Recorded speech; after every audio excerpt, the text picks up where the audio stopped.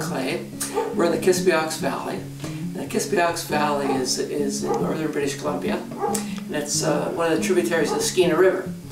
And uh, the Skeena River is famous for its steelhead runs. And on the Kispiox, uh, say one of the tributaries of the Skeena, it's known for its large steelhead. So people from all over the world come here to fish.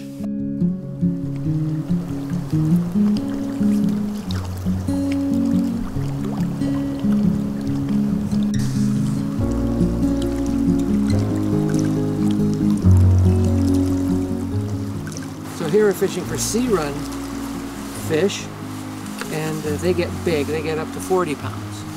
So this is sort of more of a trophy type game and that's what draws people here. It's really the size of steelhead. Plus they fight a lot more, you gotta understand, than a five or six pound fish.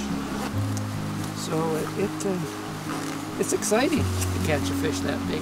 Well, uh, this workshop I, I spend a lot of time in and it's my uh, rod building shop or some people say a studio. I'm going to call it a shop.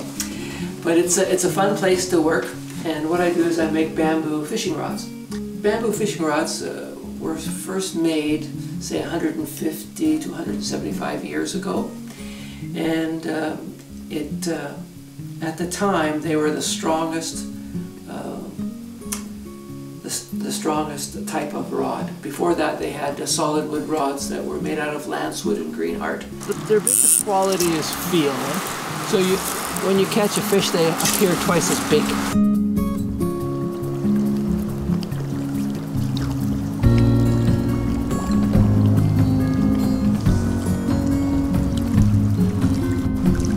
Most most bamboo rod builders sell to guys who are bamboo, what I call bamboo nuts, eh?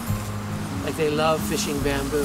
Whereas I sell mostly the steelhead fishermen that have never fished bamboo and that are uh, they want to try something different or sort of maybe maybe more historical. Uh, I just traveled across Canada out to the Gaspé and came back through the northern northern United States. And when I got home here, I really realized, uh, you know, what a, what what a treasure we really have here in the, in the Pacific Northwest, up in the Skeena Valley.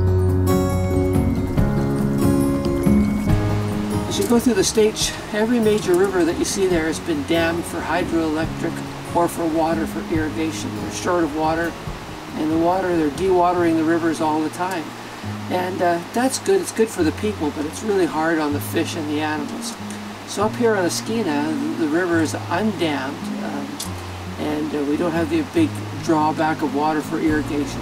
So everything pretty much runs wild and free, and we're really fortunate you know, to be living in such a great area.